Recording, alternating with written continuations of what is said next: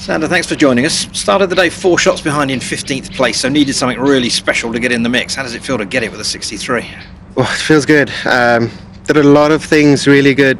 Kept it steady, kept it solid, and managed to hold a few putts and get some good momentum going for nine under par. I mean, you don't shoot it every day, but felt solid straight out the block. Started birdie, par, birdie, and you know, I just kept the mistakes off the card, and that's that's the key to a good good round. You talk about the start, six birdies in the first eight holes, so six under par at that stage. What is going through your mind as that's unfolding? I was actually quite upset because I missed a four footer on five to be seven under, but it's okay. It's kept fighting, and I use it as motivation to just keep going and keep hitting good shots, and walked off almost with ten under, but definitely take the round today.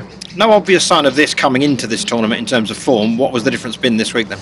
Just been really rusty with the last two weeks. Um, starting in Abu Dhabi and Dubai, the new golf ball, the new Titleist ball, and you know figuring things out again. Start of the season is always tricky, but found it something in uh, in Dubai. Actually, re- played really nicely. I think I had 15 and 14 greens in the first two days to be three over par. So you know there was a lot of good, just not scoring, and I'm definitely scoring this week. What would it mean to you to come out on top tomorrow, first time win on the DP World Tour? I've knocked on a lot of doors, so it'll definitely be nice to get over that line. So let's see what happens tomorrow. Well, wish you luck with that. Thanks for your Cheers, time. guys. Thanks. Thank you.